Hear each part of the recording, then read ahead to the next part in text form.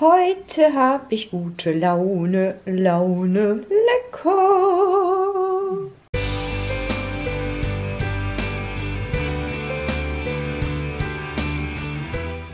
Kuckuck, Hallöchen ihr Lieben und herzlich willkommen zu meinem neuen Video. Natürlich wieder ein Food Diary, was soll es auch anderes sein, was anderes gibt es ja hier nicht auf meinem Kanal. Aber egal, was nicht ist, kann ja vielleicht noch werden. Ich habe euch auf jeden Fall wie immer von Montag bis Freitag alles mitgefilmt, was ich gegessen habe. Diesmal auch wieder, was ich eingekauft habe, das habt ihr euch jetzt ein paar Mal gewünscht. Und ihr habt ja vollkommen recht, habe ich euch Ewigkeiten nicht mehr gezeigt. Von daher habe ich das in dem Video nachgeholt, also ein kleiner Einkaufshaul ist auch dabei. Ich möchte euch heute aber auch noch einen anderen...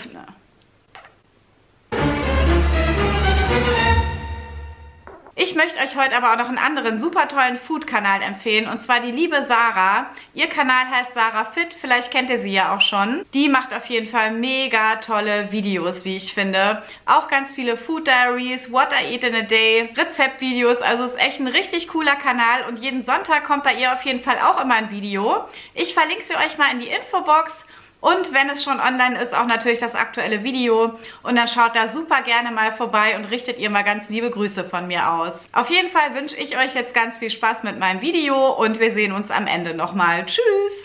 Hallöchen und guten Morgen, um 20 vor 12 schon. Ich habe schon meinen Kaffee getrunken und komme jetzt endlich mal zum Frühstücken. Ich habe mir heute 250 Gramm griechischen Joghurt gemacht mit einer frischen Feige, ein paar Blaubeeren und Low Carb Kokosnussmüsli. So, Mittagessen ist ja ausgefallen wegen spätem Frühstück. Deswegen habe ich jetzt, äh, ja, vor allem ich habe die Weihnachtsbäckerei eröffnet. Nee, es war irgendein Supermarkt. Ähm, ja, es gibt jetzt ein paar Kekse, nicht alle, ne, aber ein paar Spekulatius und hier irgendwie ein, zwei Lebkuchen, sozusagen als 14 Uhr Nachmittagssnack. Morgens bin ich immer müde, abends bin ich immer wach. Käse, Lauchsuppe, juhu!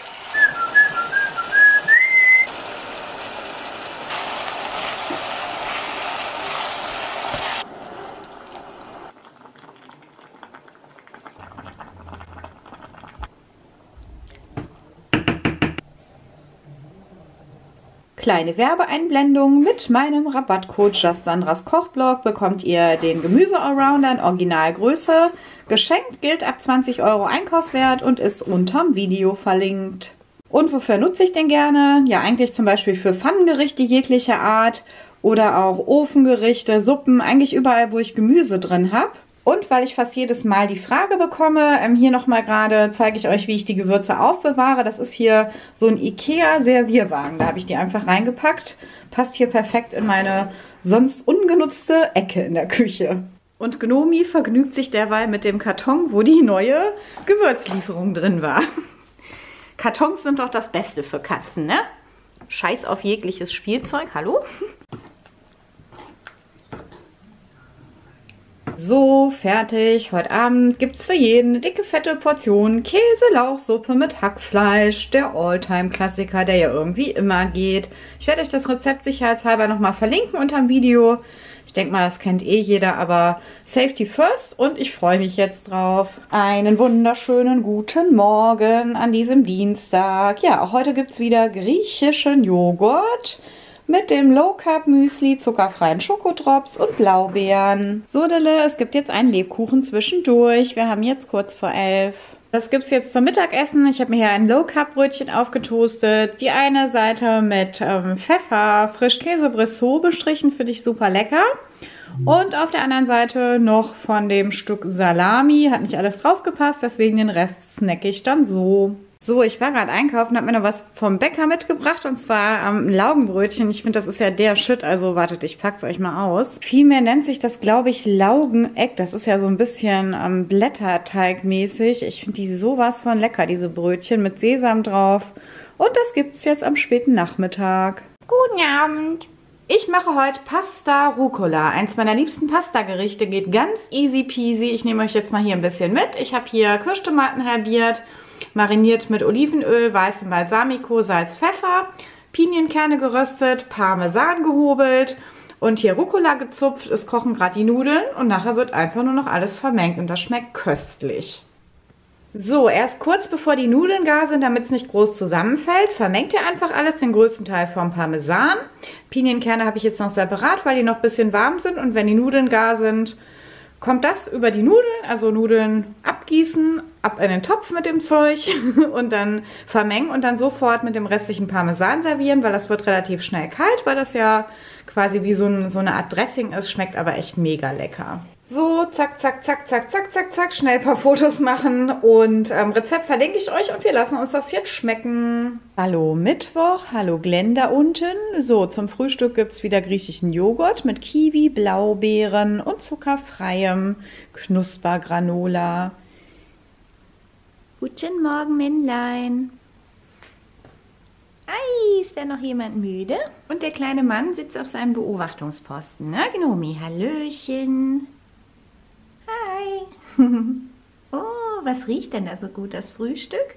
Hallöchen, ich mache gerade Mittagspause und habe mir hier nochmal ein Low Carb Brötchen gemacht. Die eine Seite mit ähm, Appenzeller Käse belegt und auf der anderen Seite ist ein Frischkäse in der Sorte Tomate Paprika und das lasse ich mir jetzt schmecken.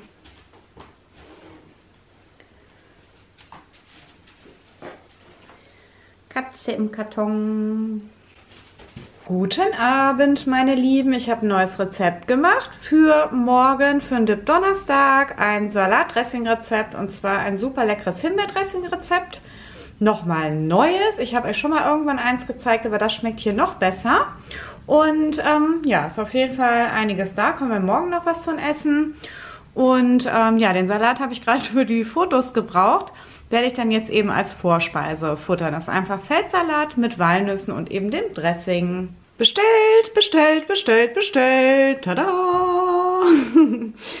so, passt jetzt wie Arsch auf einmal zur Vorspeise? Nicht, aber ihr kennt ja mein manchmal gagamäßiges Essverhalten. Also Currywurst mit Pommes und Mayo. Für den Hasen gibt es übrigens das gleiche. Heute habe ich gute Laune, Laune.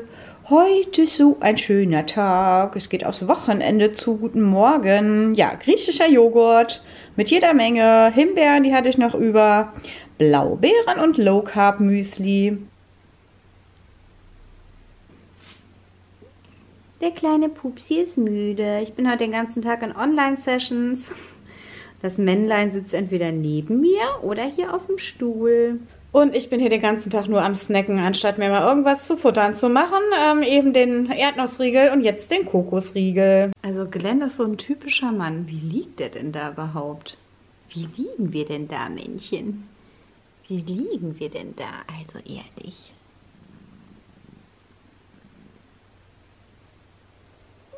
Ist euch schon mal aufgefallen eigentlich, dass der Gnomi eine weiße Schwanzspitze hat? Zeig mal, Gnomi, zeig mal. Guck mal. Witzig, ne?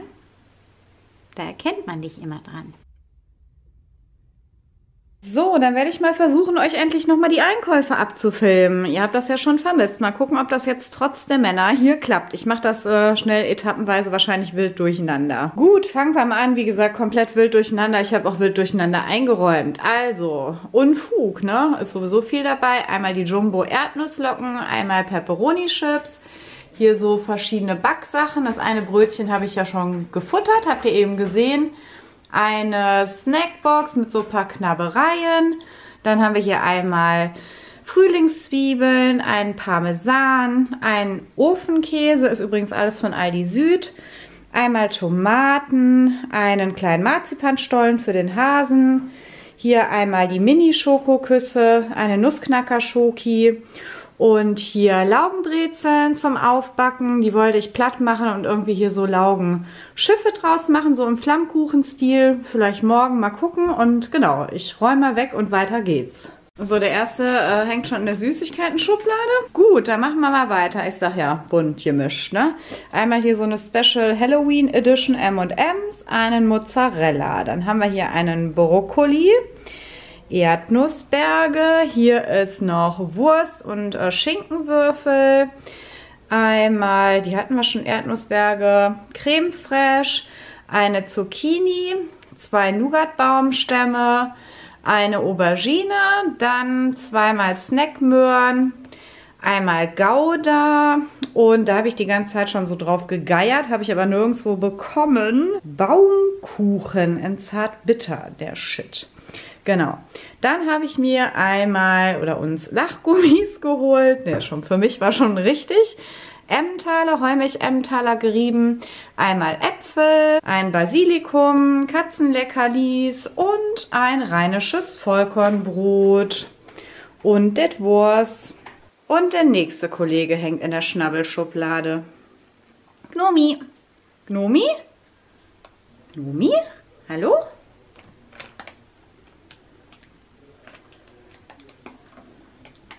Raus jetzt da.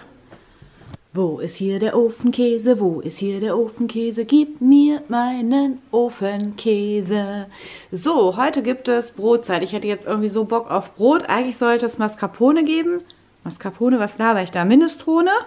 Aber ich hatte so geile Brotsachen geholt. Jetzt hatte ich irgendwie mehr Bock darauf. Die Minestrone mache ich aber auch gleich noch. Die ist dann fürs Wochenende. Mit allem Zip-Zap, was da so zugehört, ne?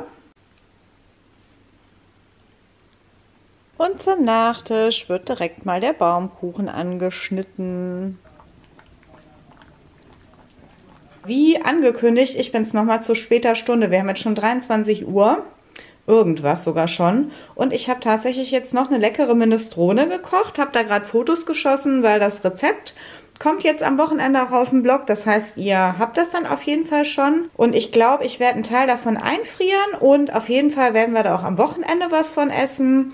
Oder morgen dann schauen wir einfach mal. Mit diesem Rezept bin ich Teil der Kampagne Bunt ist schlau von Aldi Süd. Und ja, da geht es darum, dass man ähm, ja quasi so nach den Farben des Regenbogens isst, Tag für Tag, damit man auf seine Portion Obst und Gemüse kommt. Ich will aber jetzt auch hier nicht zu viel verraten. Deswegen schaut da gerne mal bei meinem Blogbeitrag vorbei. Da habe ich euch noch einiges mehr zu der Kampagne erzählt. Ich habe euch das unter dem Video wie immer verlinkt.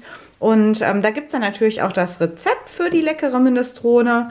Da kann man ja so verschiedenes Gemüse reintun. Ist auf jeden Fall sehr lecker geworden. Guten Morgen, das gibt's heute zum Freaky Friday zum Frühstück. High Protein Vanillepudding mit Granola, drei kleinen Dickmanns oder Schokoküssen, whatever und äh, bisschen Obst für, für Gewissen, ne? Hello, als Vormittagssnack gibt es jetzt noch mal ein Stück Baumkuchen. Lecker. Hallo, da bin ich wieder. Das gibt es zum Mittagessen. Lecker Tomate Mozzarella mit leckerem Olivenöl und dazu ein paar Scheiben Ciabatta. Ich mache jetzt mal unser Abendessen. So, die vier Brezeln habe ich jetzt platt gemacht und ausgerollt, beziehungsweise hier erstmal zwei ausgerollt und ähm, da werden so eine Art Flammkuchen, ja, Brezeln kann man sie ja da nicht mehr nennen, aber irgendwie sowas draus. Das habe ich jetzt bestrichen mit einer Creme Fraiche Käsemischung und belegt mit Schinkenwürfeln. Und so geht das jetzt erstmal in den Ofen. Ja, das sieht gut aus. Jetzt kommen noch Frühlingszwiebeln drüber und dann ist es fertig. Und ich mache dann direkt die nächsten zwei. Fertig ist die erste Fuhre. Ich glaube, das Rezept poste ich euch, also Rezept ist gut. Die Anleitung poste ich euch direkt morgen früh auf Instagram. Heute hab ich gute Laune, Laune, lecker. Ich hatte übrigens doch in Anführungszeichen nur anderthalb von diesen Brezelteilen und gönne mir jetzt noch eine Portion Obst. Wir haben ja alle gehört, Obst und Gemüse ist wichtig. Nee, Spaß beiseite. Es sind hier so ein paar Lachgummi-Joghurt, die mag ich sehr gerne. So, ihr Lieben, ich hatte beim Schneiden schon mal geguckt. Ich glaube, das Video ist eh schon irgendwie zu lang. Deswegen habe ich dann Freitagabend aufgehört zu filmen. Ich hoffe, das Video hat euch gefallen und ihr probiert auch mal das ein oder andere Rezept aus. Da freue ich mich immer sehr. Und ja, ganz, ganz lieben Dank fürs Zuschauen. Ich wünsche euch eine tolle Woche. Lasst es euch gut gehen, bleibt gesund und munter. Und natürlich allzeit guten Appetit. Der darf ja bitte auch nie verloren gehen. Also, bis nächste Woche, ihr Lieben. Tschüss.